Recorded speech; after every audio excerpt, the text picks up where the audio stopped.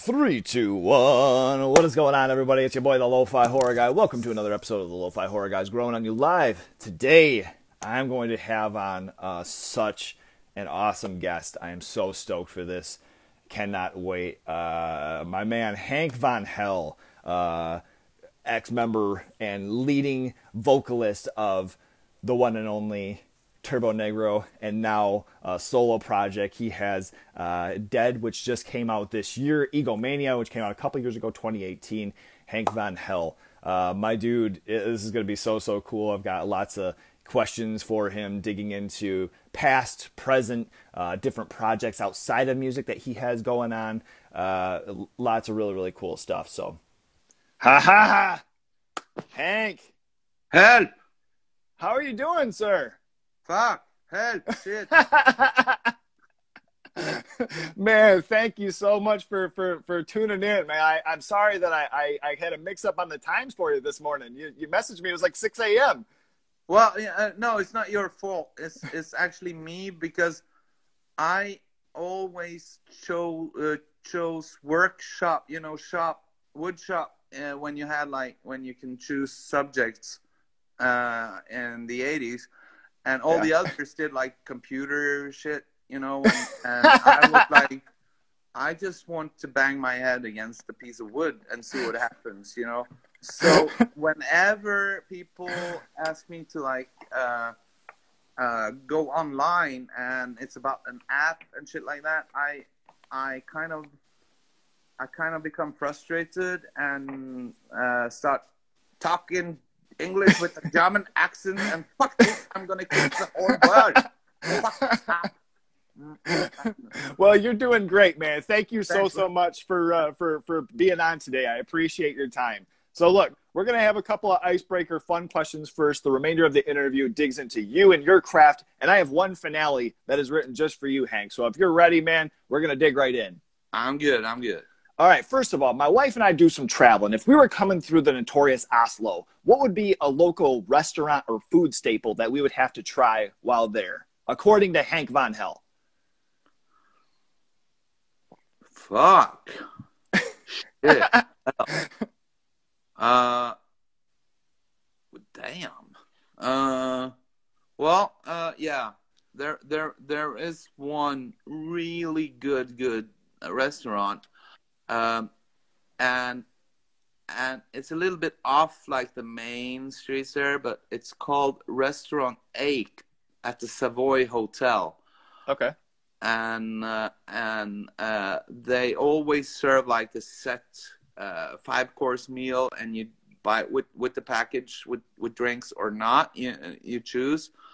And the owner of the restaurant, a master chef, he's a brilliant guy. You know, he also owns like the uh, some of the elite restaurants, more like center by the more uh, more expensive places.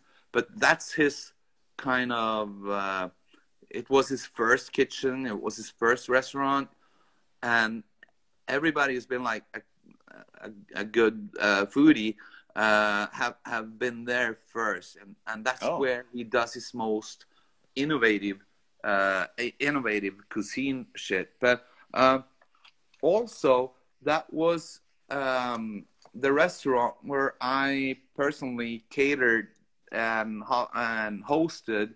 Uh, uh, Johnny Knoxville and Steve-O uh, Oh, when shit. they came uh, when they came to Oslo uh, promoting uh, the Jackass uh, movie number two, where where Turbonegro actually had like the uh, the opening uh, score song, you know. Hell yeah, awesome. Wow. and we had like a separate chamber there and what and uh, the chef there he's also a friend of mine um, we decided to to do like a jackass gourmet meal uh, where i did where i was standing as the main chef you know and i cooked like old viking food uh, and that was like sheep balls uh, and Damn. and pickled uh pickled goat eyes and bullshit like that and um yeah w- it was good we was in a separate chamber because it smelled like somebody uh, uh, had died in the Viking Age and still lying there, you know. but Oh uh, if you go to that restaurant, it has a lot of, of epic history in it, and the food is awesome. And if you call them in advance, you can get me to come there in my chef's attire and serve sheep balls. You know.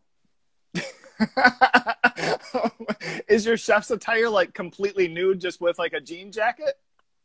No, it's more like really old and and fucked up, and the uh, health government would never uh, uh, agree Allow it, yeah. anything to do in the kitchen. and I have like a homemade knife, um, and Oh, between, but it's very sharp uh, and, Yeah. and and very like it's very well uh, folded and, and, and forged by by a very good Canadian smith called uh, Wally Hayes. He's like Okay. really good, Oh. but I use that between courses. I stand picking my teeth with it,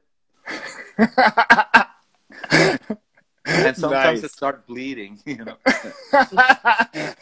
just to ensure that it's sharp enough, huh?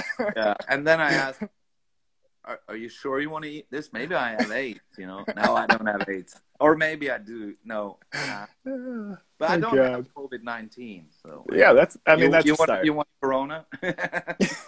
right. Dear Lord. All right, let me let me ask you as far as you know, with your your solo albums, you've had just an amazing you know mix of different musicians on on both projects. Uh, you know, but if you could uh, assemble a dream band for your next project, for your next album that included four members of your choosing, you know, even dead or alive, who would be the other four members on this next album? oh, yeah. It will. On, it would only be dead musicians, you know? So Okay. let them rest in peace, you know? It would be. Right. Yeah. It, it would be. Um, it would be uh, Michael Jackson on drums. Uh, Sure. I would have uh, Amy Winehouse on guitar.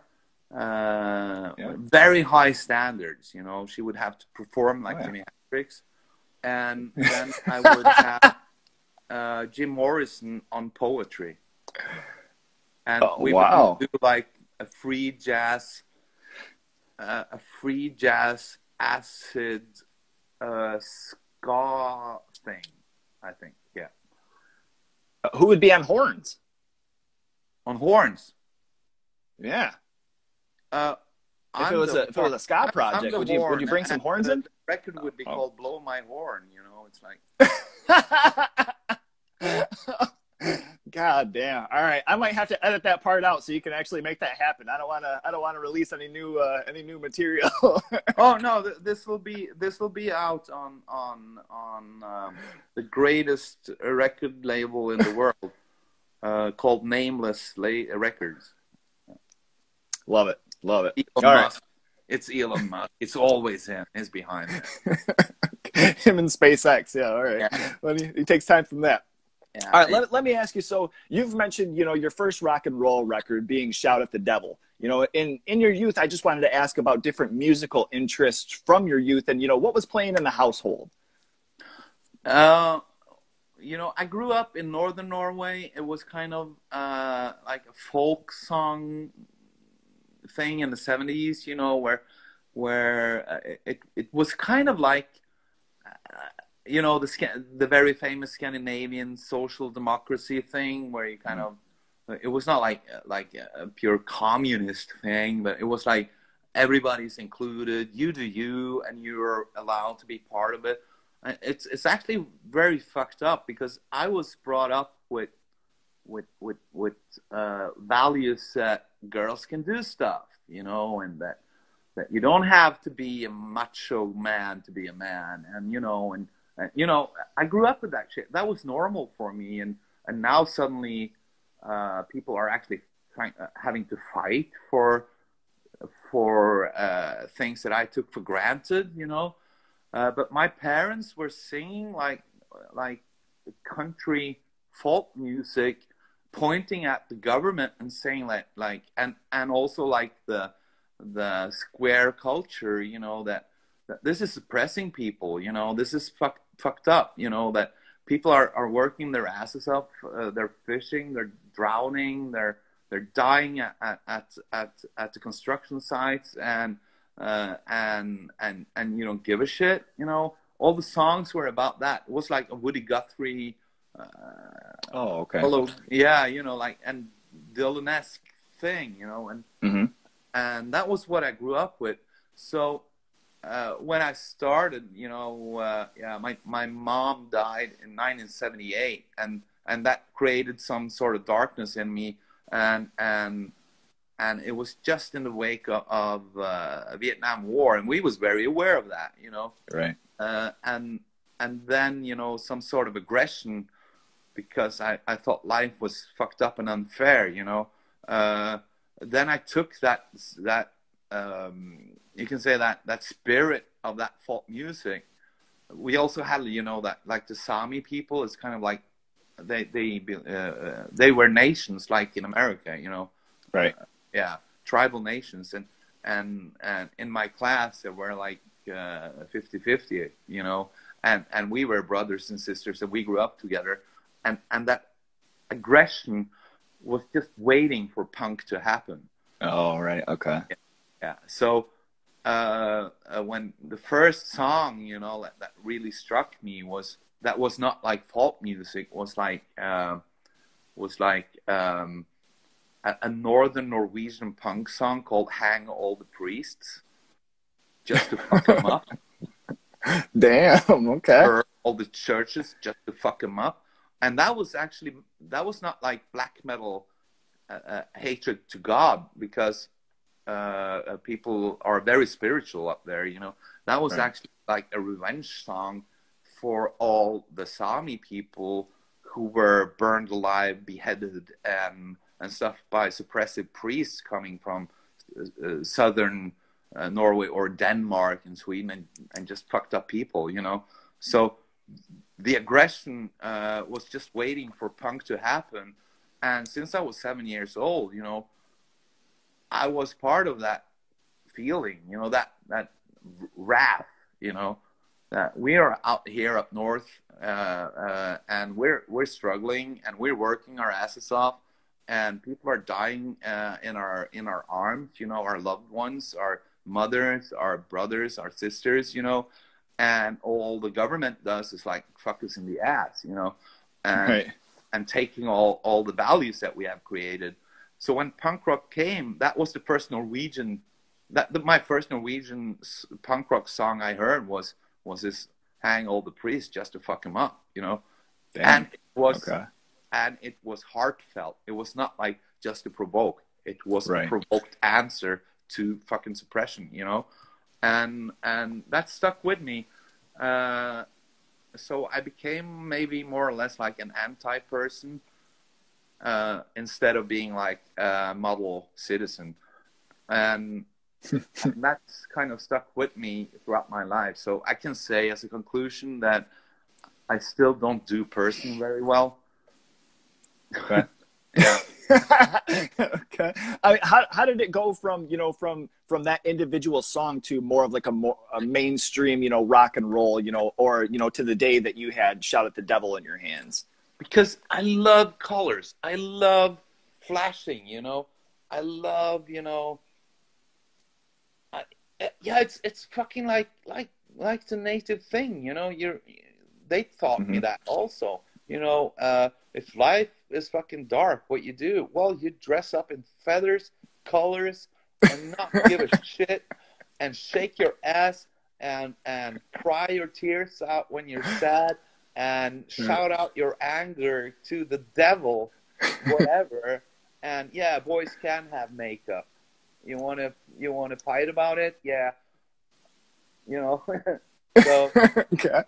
You know, so it, that that aggression was was also that was a result of like hundreds of years of sorrow and and and, and you know it and and I very uh, soon realized that being an individual, taking a stand for who you are, you do you, and just be careful that what you choose is what is what's going to happen, and make sure that you can look people in the eye after having made your choice and acted mm-hmm. out on it.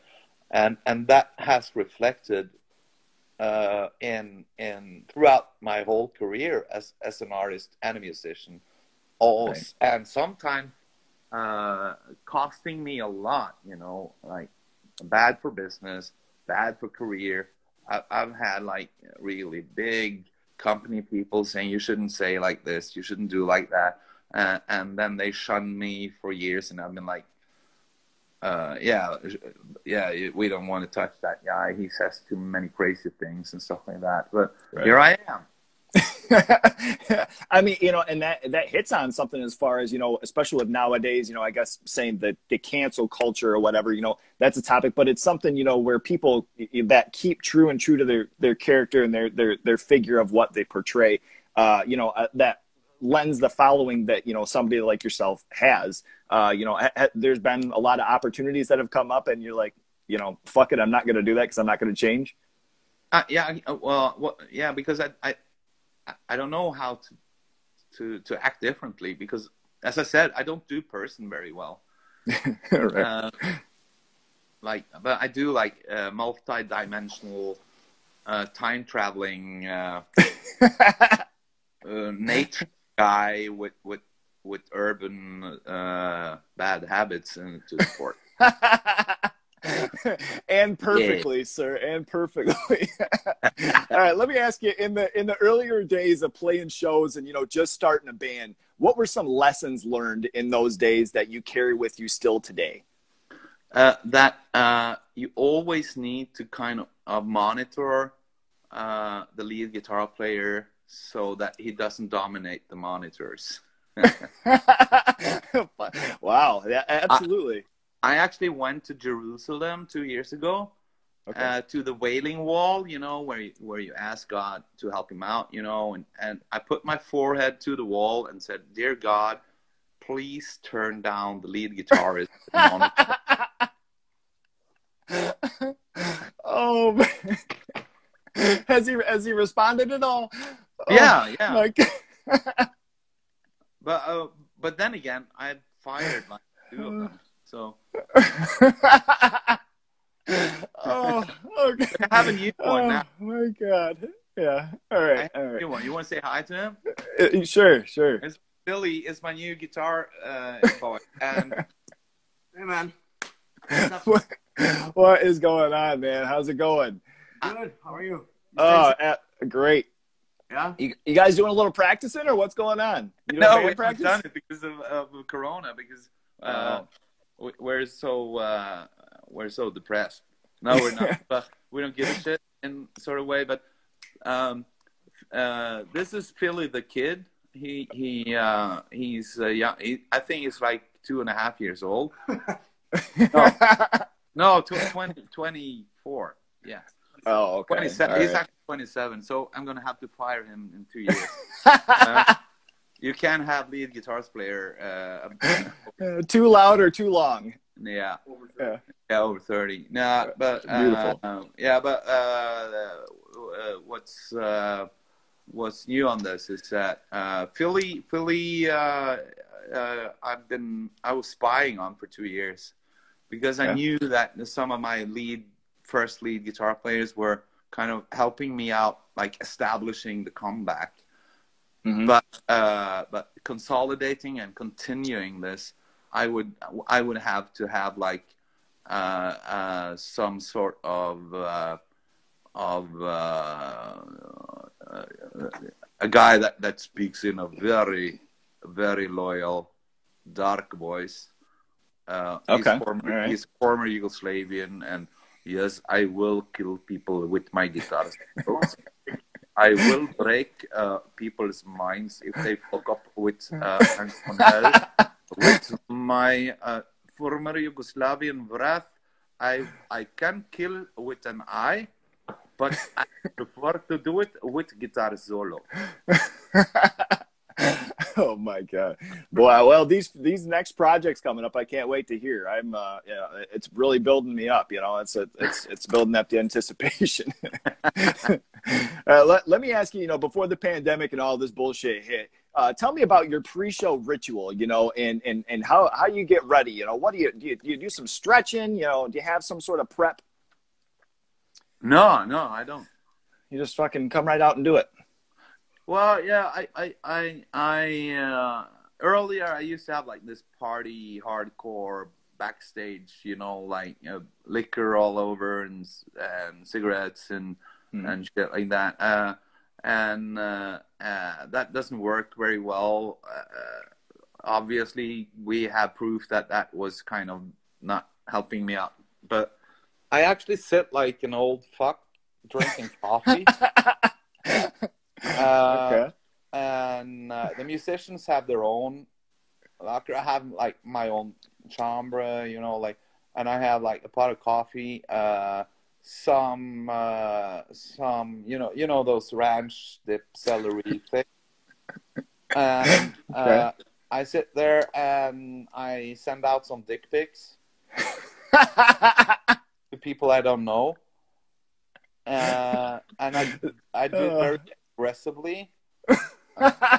So it's not to make people horny; it's just to offend. Uh, and uh, and then uh, the manager says it's showtime, and I say no, I have at least ten more dick. Then, and then I have to walk like very slowly, like an old, you know, like like uh, Walt in Breaking Bad, you know, before he starts cooking meth, you know. Oh. And with my coffee cup. Then I get my mic uh, in my hand, and I say, uh, I I, I uh, give my coffee mug, you know, to to to the manager and say, "Can you please hold my cup of coffee for me?" And I just have to do this. It'll just take an hour and a half, maybe two hours, and make sure that the coffee's hot when I come back, you know. And then I do my God. show, and then yeah. Uh, then I go back and then uh, to the, the to the um, to my own uh, uh, dressing room, locker room, and then I have a cup of coffee, and then I go to the bus and put on some Americana Glen Campbell eh, thing, you know, and I sit then with my ultra conservative uh, bus driver from Alabama, uh, and and we say things that are not very polite to say to other people uh, while we're laughing. Uh, and feel like we're the worst persons alive. And then we stop and buy a burger, and uh, then everybody's asleep, and then and and then uh, we start shedding uh, truth, you know, and and with tears in our eyes, you know, and you know. You, do you remember the war? You know the landing in Congo. You know, in 1962. You know, uh, you know T-Bone died in my arms. Oh you know, like that. And last thing he said was like, "Where? Why didn't they put my fucking parachute in my backpack?" You know? and, you know, and I said, "Well, I'm go- I'm I'm gonna make it right for you, T-Bone. I'm gonna make it right for you." Stand for five. You know, Oh and, my uh, god. yeah. So yeah, that's like Oh. on tour. oh my god! All right, I, I, dear Lord, I gotta, I gotta stop. I'm trying my hardest to hold back uh, from interrupting you with my loud and obnoxious laugh, but Jesus Christ, these are great answers. Uh, and I'm ready for this next one here. So let me ask you, you know, in one of your recent Instagram posts, you asked a pack of seagulls whether they preferred Slayer or Anthrax. And it hit right home for me. And I wanted to ask you if you were writing a set list for tonight and you got to include any one song from both bands, any one song from Slayer and Anthrax, what would make the set list? Oh yeah, it's not seagulls. Those are actually Norwegian banana eagles. that Okay. look like seagulls. No, I would like. Uh, I w- I would like you know. Uh, um, I would like to have you know like Anthrax with uh with uh the song uh, uh "Horny Women on Fire." I love that song. Uh, instant and- classic. yeah and uh, and uh, uh, the slayer you know with with, with like um uh, a fist fuck the tailpipe of my mustang Oof. yeah you know, I it's, love it. uh, those are both classics. I can see Yeah, why you and would I, choose them. and I would probably kind of play them simultaneously uh, and Like- see what song ends first, and that's the winner. okay. okay. Kind of like a medley, you know, so it doesn't take Yeah, up too much time, but you can get in the classics. Yeah, and then that's also where I confuse my musicians, so they really fuck it up, and then I can fire them. okay. All right. Beautiful. I, I love it. Now, along with those two tracks, you know, if you could choose a set list, you know, not involving crowd pleasers or singles or anything, you know, from Turbonegro and, and Hank Von Hell, what five Yeah. songs would you have in set in this set well, I list would tonight? have like, um, uh, you know, that "fuck the crowd" mm-hmm. that song. I would play that. Okay. Yeah, and my roadies are fired. and, uh, and uh, oh yeah, one from Bever- Beverly Hills uh, Cop, you know, Okay. called Banana in the Tailpipe. Ooh. Yeah, that's and it. of course I would have uh, Wasp Fuck Like the Beast. Ooh. Yeah. Hell yeah. and the Okay. ballad, the ballad from a band called uh, uh, the Bears called uh, "I'm the Beast." Ooh. Okay.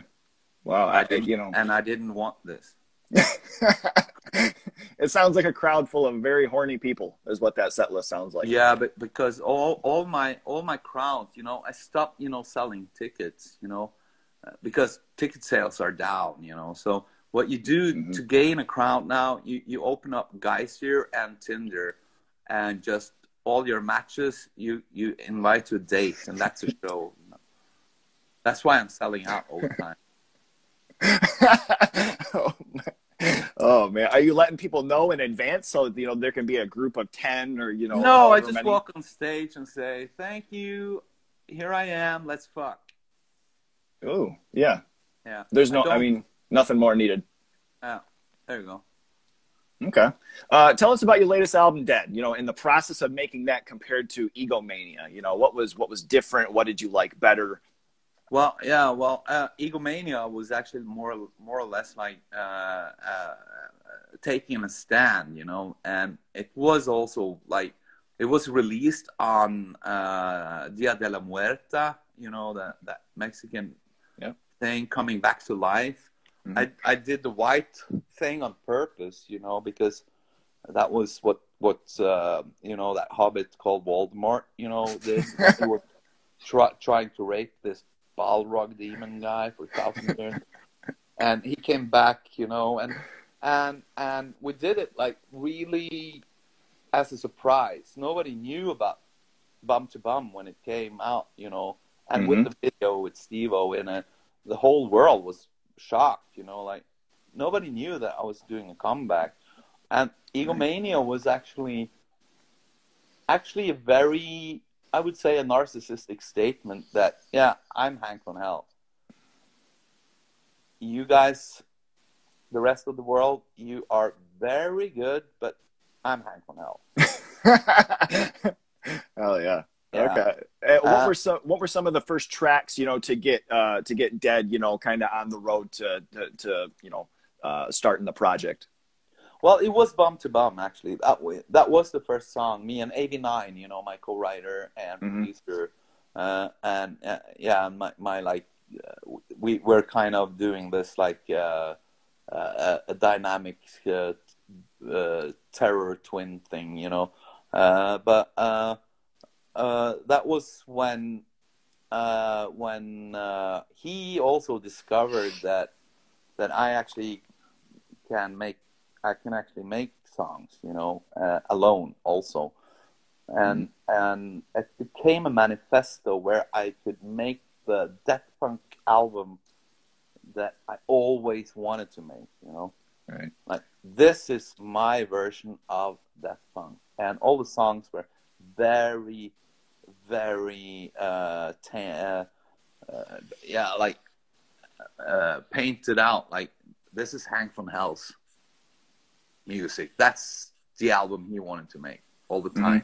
Now he gets to do it, and that coming back to life thing was was also yeah it was it was a, a, a statement like trying to be take take take the power you know take take uh, take what's mine you know and I did it uh, but then all these questions came up very fast. Where have you been all these years? You know, uh, and where has Hank been all these years? And and and why have why have you acted so weird and and and crazy and and creating and never answering any questions about anything and just let rumors and everything just let it float let it you do you let it all unfold you know uh, Uh-huh. but then the question was like why where how you know what where you been you know Right. and then Dead came, where I actually made maybe the most like personal and and actually a very very dark and strenuous album. It was very hard for me emotionally because uh, that actually that is actually uh, an explanation to to why Hank actually exists. You know where uh, these all all the songs there are related to uh, the darkest hours and the darkest places I've been in my life. Mhm. Uh, I've of course told the story in a way, in a fashion that makes that makes it open uh, for interpretation, uh, because it's not it's not me trying to make people agree with with something that's been hard for me. Like you have to agree that and feel sorry for me and this is my pain you know? It's, uh, Right. it's not it's not that. It's it's just totally relatable stories.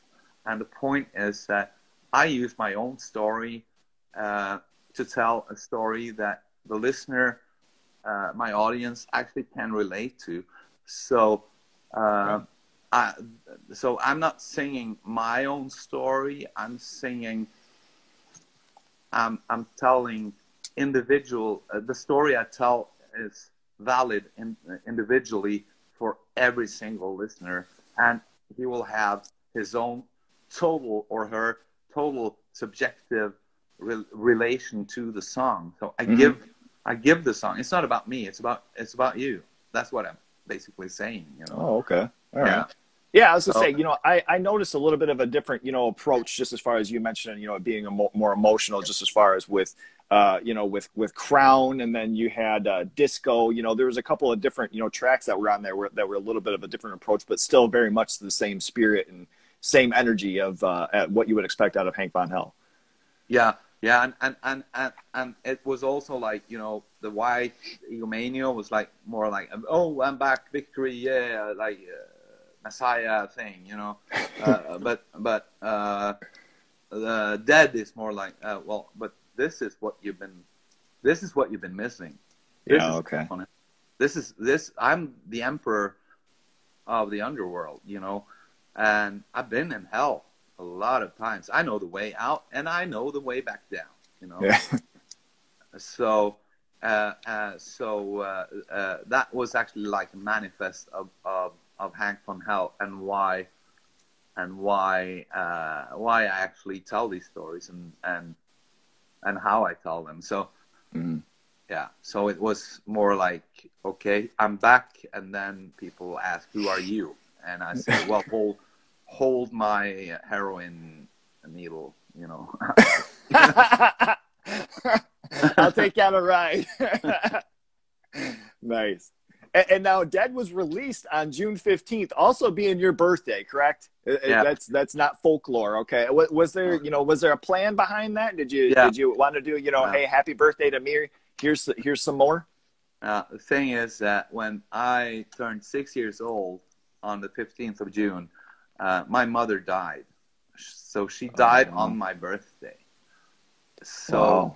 When my uh, sick my my life was to be celebrated, you know, that very day my mother passed away. So uh, uh, that was my my my celebration was holding my uh, ice cold mother's dead hand, you know, like, and and that kind of uh, did something to me uh, that I realized that um, that I should not maybe try to strive for happiness or or or or stuff like that. I just have to what I'm what I'm what I'm searching for is not to be a happy guy.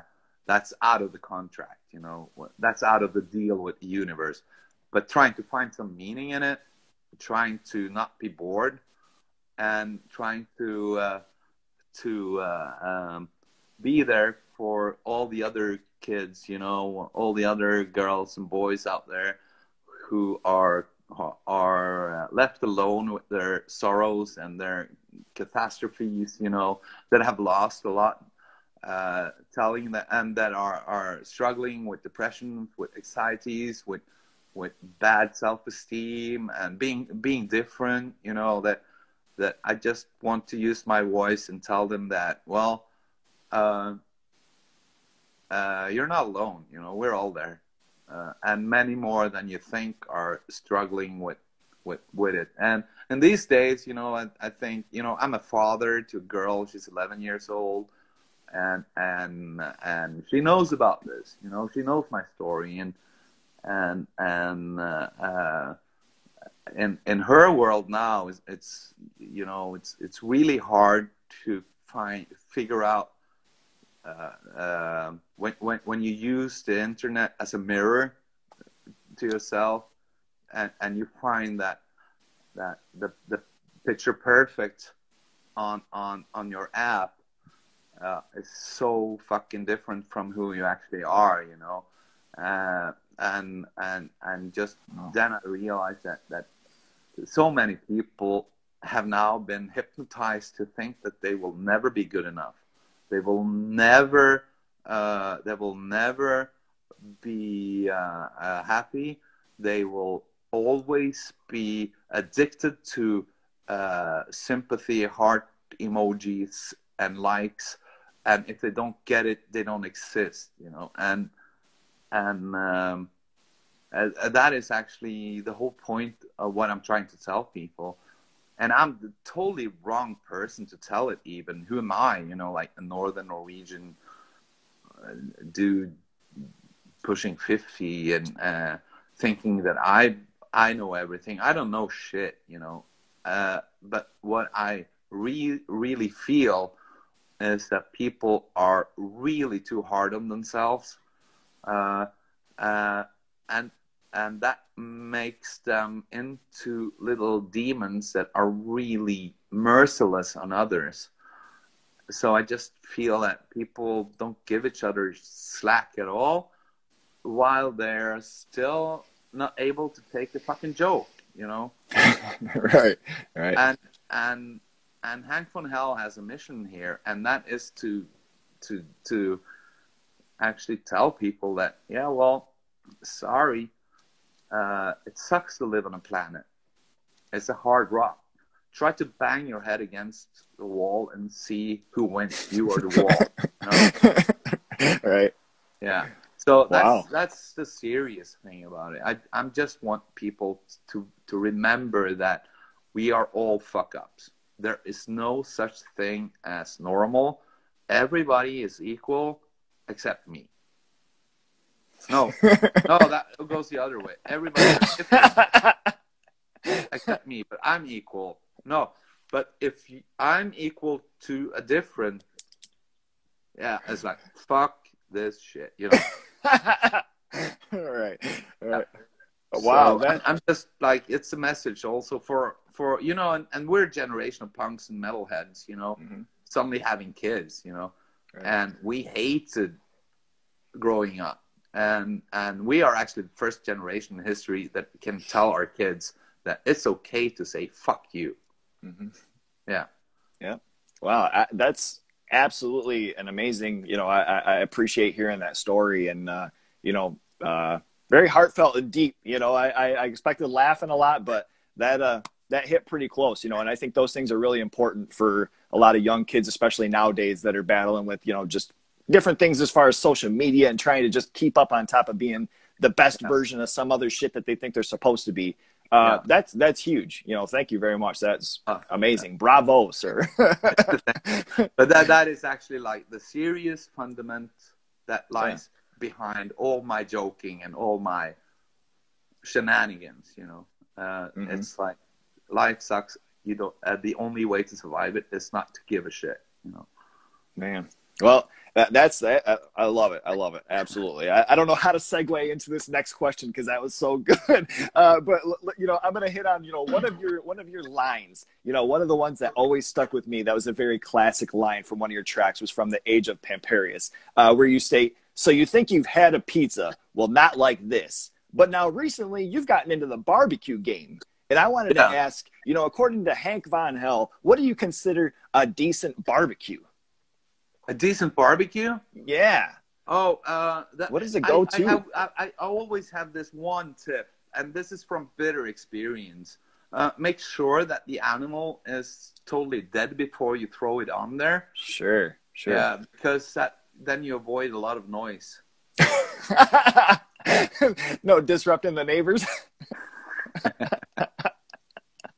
well, uh, nice. You know, nice. I'm, I'm, I'm, um, I'm, um, uh, uh, all, all, you know, I, I, wrote barbecue books. I've been like kind of of uh, promoting uh, the American kitchen cuisine to uh, to Scandinavians, you know, and okay. and and just coming home from tours in the '90s with with knowledge about smokers, with slow cooking, with with uh, we we cut even we even cut meat differently, so we don't have briskets, you know, in when you go hmm. to uh, a butcher here, you know, uh, okay. and and that changed a lot, you know. So uh, throughout, yeah, the last ten years, uh, um, the barbecue culture in Norway has adopted a lot of, of good American tradition in barbecuing, and and I I learned a lot about that, uh, especially when I, I traveled to to uh, Texas. Uh, uh oh, yeah. I, am a really like fan of Texas barbecue because it's it's so redneck, you know. yeah. And, that's where you and, learned you have to completely kill the animal before throwing it on. Well, yeah, that's where I learned that. Because, and, and, you know, uh, the reason behind slow cooking is not because the meat becomes so tender and shit. It's that you just can put it on the there uh, on the barbecue. You put on the lid, and then you go out and shoot shit for a couple of hours while being totally drunk, you know. And uh, yeah, so and there are nobody around for miles, so you can't hit any people. Uh, because if you do, you'll get executed. Right. okay. And barbecued, you know. And barbecued, yeah. Okay. Yeah. Says, are, you, are, you know, this old Sparky is ready for a BBQ, you know. Are you more of like a, a, spicier barbecue fella or sweeter? You know, what kind of what, what side do you fall on? No, I, I, I'm uh, I'm like you know I'm a very seductive guy. You know, I uh, and I also have I also have you know that European thing, um, but also the Viking thing. So I, I can uh, I can uh, speak with a Latin voice and uh, I mix this into the barbecue that I put eroticism. Uh, you think it's too salt? I could make it saltier, you know. And then the Viking thing is, and uh, and if you think it's uh, if, if you think it's too dry, I will cut your head off and make you bleed. and then uh, and then um, having you know that that really inner conflict uh, that a modern modern uh, southern uh, redneck always have to have you know like yeah. okay we have a story to be ashamed of but some of it was cool you know? The food you know? And, oh nice and then nice. you you get all this like uh it's all evolution you know because when when uh when when generation after generation evolve uh, I always, and this is also very like serious and touching. I, I, actually see, you know, that that being in Texas, being in Louisiana right now, being uh, being seeing how how the interaction there between uh, groups that were very separated earlier and and actually a very shameful and, and, and tragic and and provocative story, you know, turns into something that is that is uh, fucking good food, you know, and meals shared by people who would have never been able to talk to each other hundred years ago, but now are are uh, are interacting and are, are actually having families together. You know, so so and and that that is always manifest in the food. You know, you you get Right. soul food, you get Cajun food, you get like classic beef, uh, cowboy barbecue, you get like rattlers, and you get uh, a lot of the native uh, thing, and and and I would actually say that a lot of people are talking about you know uh, the Japanese and the French kitchens and, and the ooh la la and bullshit, you know, but the American kitchen uh, says more about the modern history of mankind and says everything about rock and roll than anything else in the world. Okay. Wow. All right. Now, yeah. Now, also hitting on, you know, you you're doing accents and different things. You know, in the break between Turbonegro and your your solo project, you also took up acting. You know, doing some writing as well. Uh, how how did you get into how did you get into film? How did that come about for you? Well, I, I, I, I was actually that year, 2009, Uh-huh. uh, uh, where I, I decided that I had to leave Turbonegro because I felt I became just so one dimensional that if I don't like break the spell here, I will become that fuck up forever, and it'll take five years, and I'll, I'll die and become one one uh, uh, one of the legendary dead guys, you know. Sure. Uh, yeah, and and I had s- so much that I wanted to figure out, you know, um, about you know about my own existence and also my own art, and and I actually grew up with theater. That was what I did when I was a kid, you know. oh, okay.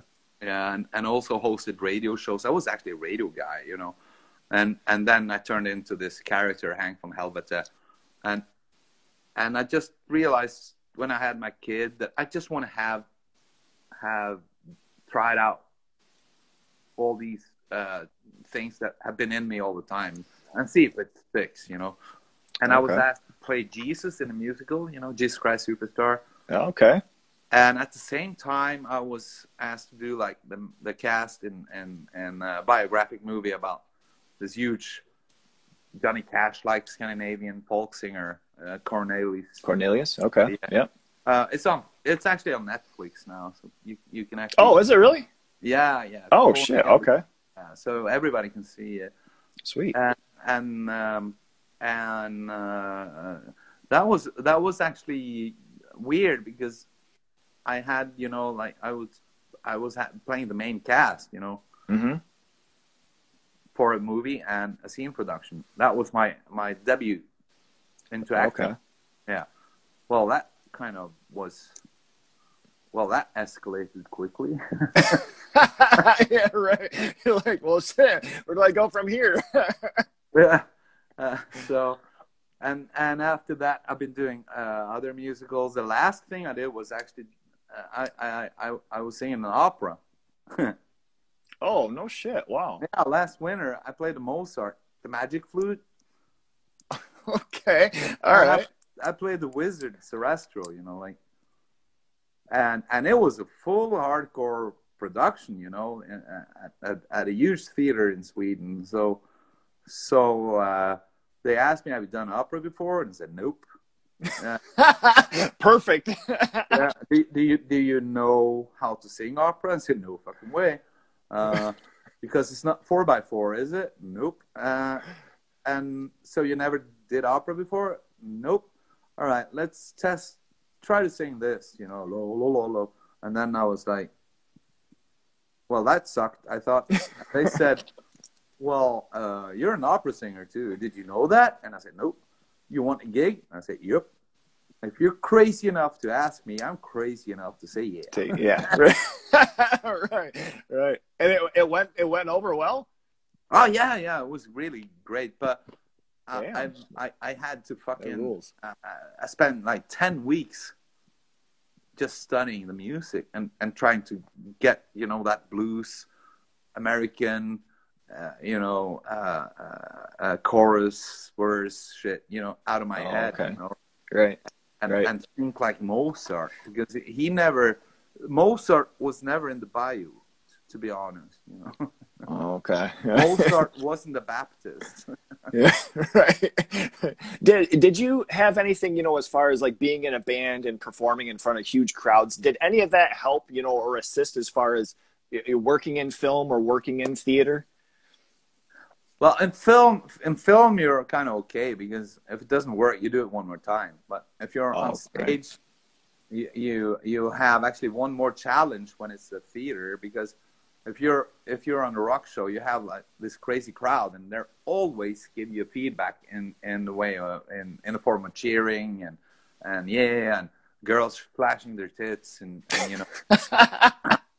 Uh, but when you do like a classic opera Mozart in front of like 700 people sitting there totally quiet, and when you're done with the song, they don't even applaud, and no one are showing their tits, which is kind of cool because the average age is like 62 years old on the women. So I'm kind of glad for it, but you never get any feedback whether it was good or not Okay. the theater because I, the way I'm used to, I'm, I'm used to like shaking ass and then I get these cheers.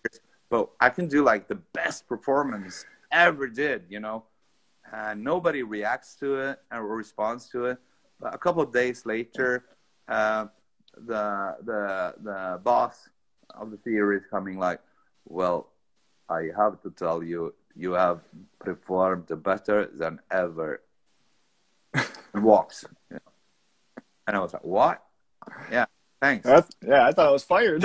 Oh, Ow, that hurt. you know.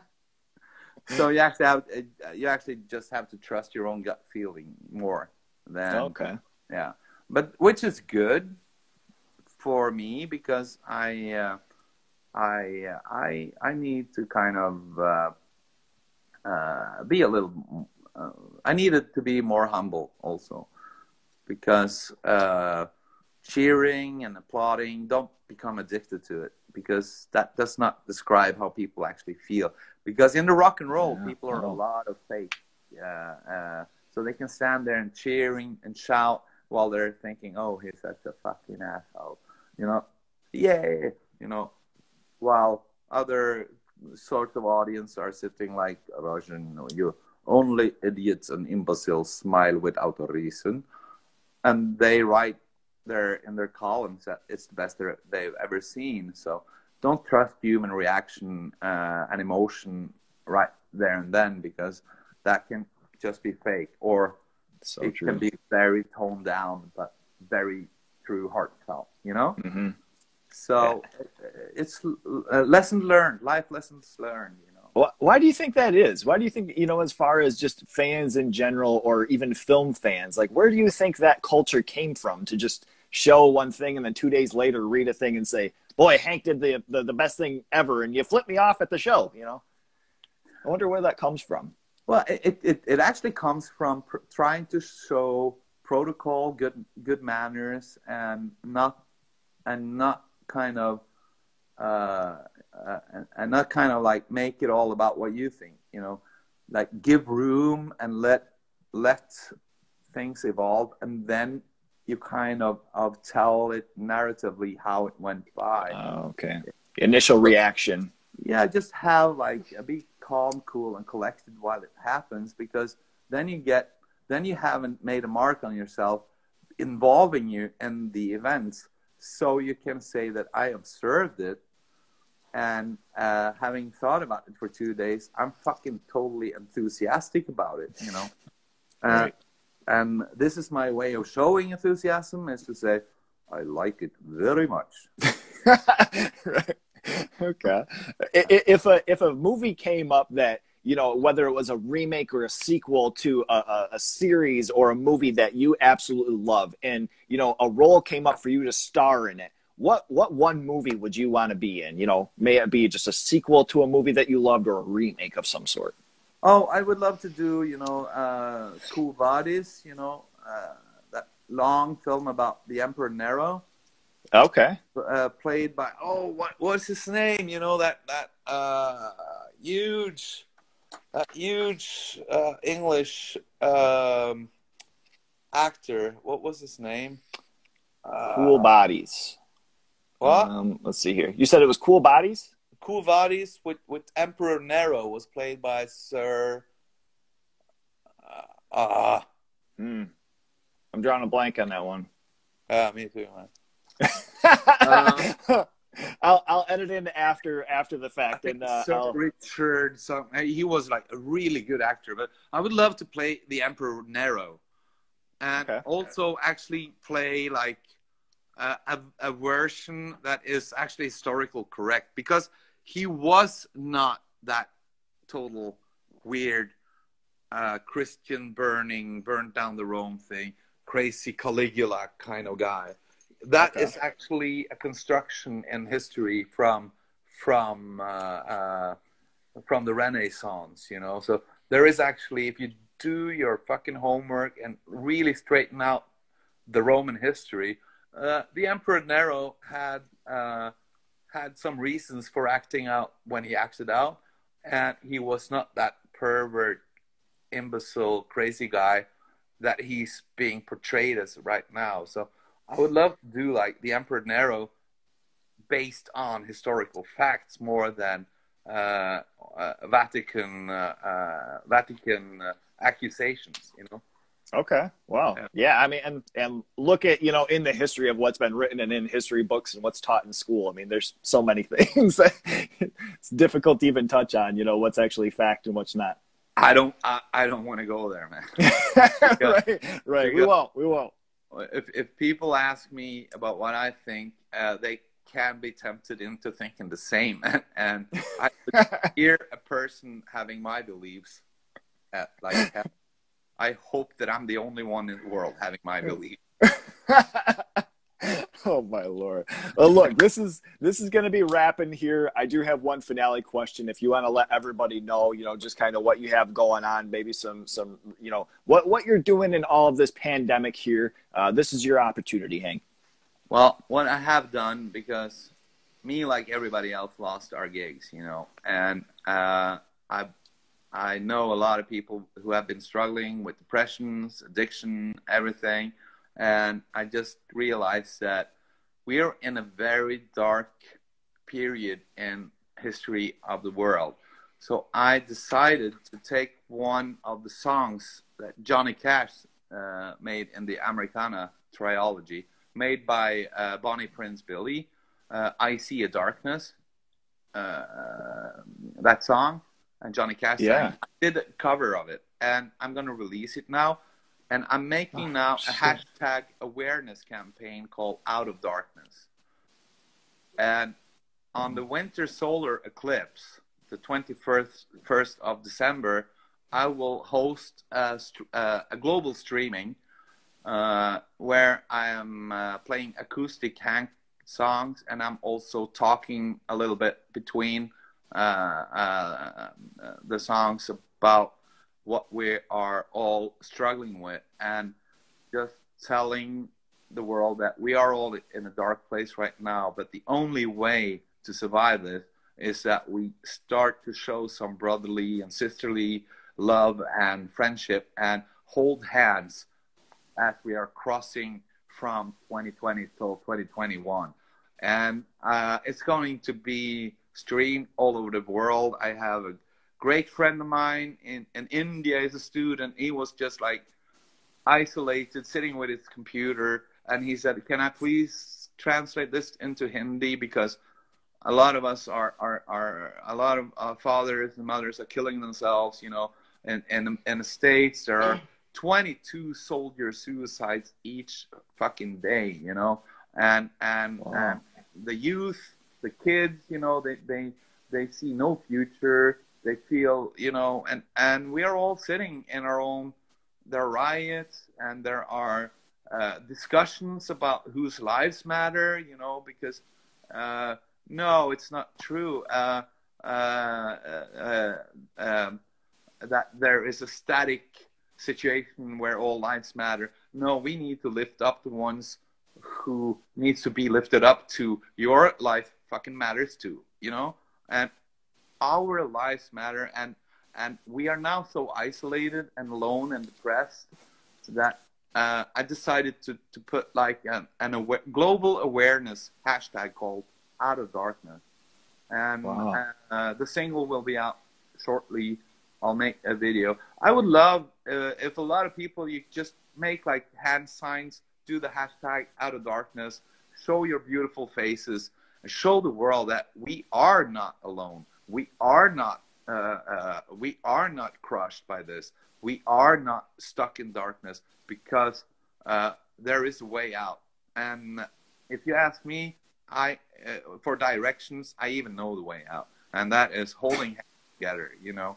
So Wow. whether you're black, blue, whether you're uh, a, a boy who's a girl or a girl is a boy, whether you're a shark trapped in a man, whatever, uh, whether you're rich or poor, whatever, uh, these days are dark days, and we have a choice. We can join uh, and uh, and hold hands. The ones that see the lights lead the blind one, and and we move away from here. I don't know where we're going, but we can't stay here. That's it. And Wow. uh, there is a way out of darkness. So I hope for a lot of support. I don't have any apparatus about it. I'm just doing it on my own. I had Damn. nothing to do. So I'm dependent upon people doing it. And if it doesn't uh, happen, you know, if it, if you know it doesn't turn into something big, I don't care because that was what I could do. I couldn't do anything else Right. because I don't do person very well. But this I can do. Man, that is absolutely awesome. That is huge, huge. I, I, that you have a, a tremendous army behind you, sir. That's definitely going to be backing you on that. So that's fucking so so cool and and huge. I hope so. But everybody, especially you guys in, in America, you know that uh, we uh, we haven't been flying back and forth as much as we used to. But don't think for a second that we don't love you all, and don't think for a second that we don't share your tears. And we know that you share ours. And together, we'll we'll we'll go out, and we'll go out with bang and not a whimper. You know. Man, Up, huge, monumental, Uh, sir. out of darkness, out of dark. out of darkness. Awesome, awesome. That is absolutely amazing. All right, so we we have that huge news from you. Uh, I, I cannot wait to see that start rolling out here. Of course, you know I'll share it, and tons of other in the army uh, will will be doing the same as well. So I have one finale question for you, Hank. Uh, and and I've titled this uh, this finale question. It's called the top five masturbation albums. All right. So in, in an interview uh, before, you had mentioned Egomania, your first solo album, being uh, uh, what you called a masturbation album. And I wanted to ask, along with Dead and Egomania, what other three albums would make the five masturbation albums of all time? Oh, you have raw power. Oof. Uh, Absolutely. You have. Uh, you, uh, I would. I would be very close to say like uh, uh, the rise and fall of Ziggy Stardust, but no. Uh, I would say Heroes, Okay. Heroes. Bowie album. You know. Yeah. and uh, in honor of uh, Philly the Kid, you know, uh, uh, it'll have to. He he's gonna get his own Guns N' Roses album, you know. Uh, yeah, you want welcome Appetite. Appetite. Appetite for Destruction. Yeah. Beautiful. Yeah, Man. And all the other albums I would mention now are just intercourse albums. So man, all right, Hank. Look, man, thank you so so much. This has been a huge moment uh, for for me in this show, uh, and and just in general. You've been so humble and so great. I really appreciate your time, man. It, it means a lot. Thank you so much. thank you, bro. Thank you, and God bless you all. Take care. Stay safe, my man. Lo-fi horror guy, Hank Von Hell. Take care. Bye bye. bye bye. Bye bye. All right. How the fuck?